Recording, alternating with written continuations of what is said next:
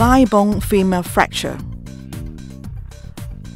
Other than common symptoms of fracture, thigh bone fracture will cause shortening of the injured limb and outward turning of foot. Fracture of thigh needs four fold bandages. Before bandaging, first aider should help the casualty to lie down. Prepare one narrow fold bandage and three broad fold bandages.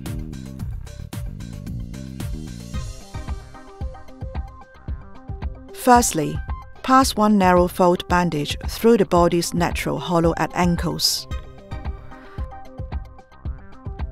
Then pass the three broad fold bandages beneath the knees together.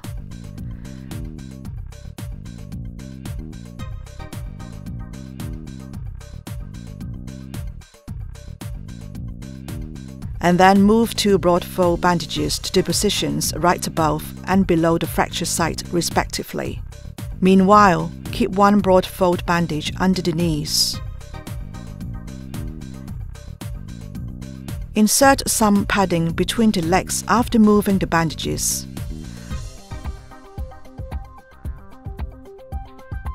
Then secure the injured limb with the bandages. Firstly, Tie the bandage at the position of ankles.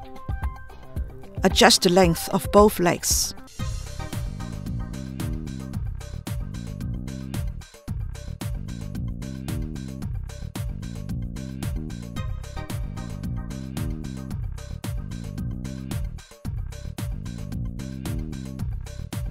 Then tie a figure eight bandage around the feet and ankles.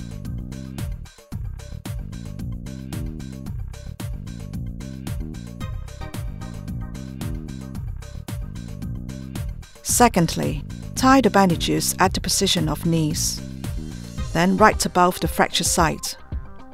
Make sure to insert soft padding between the knots and the limb.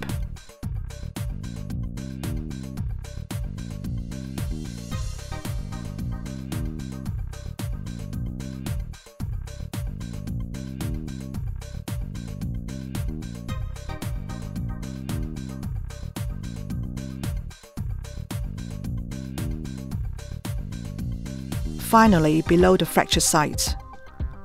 The reef knots are tied at the uninjured side of body.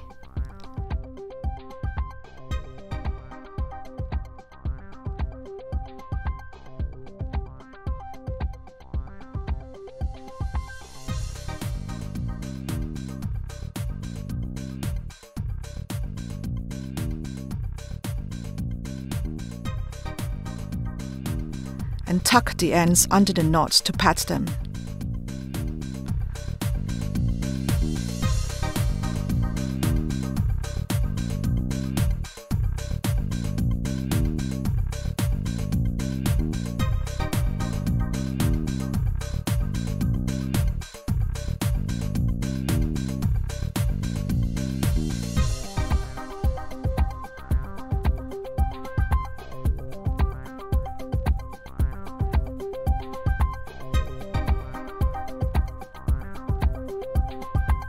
Apart from triangular bandage, towel can also be used as padding.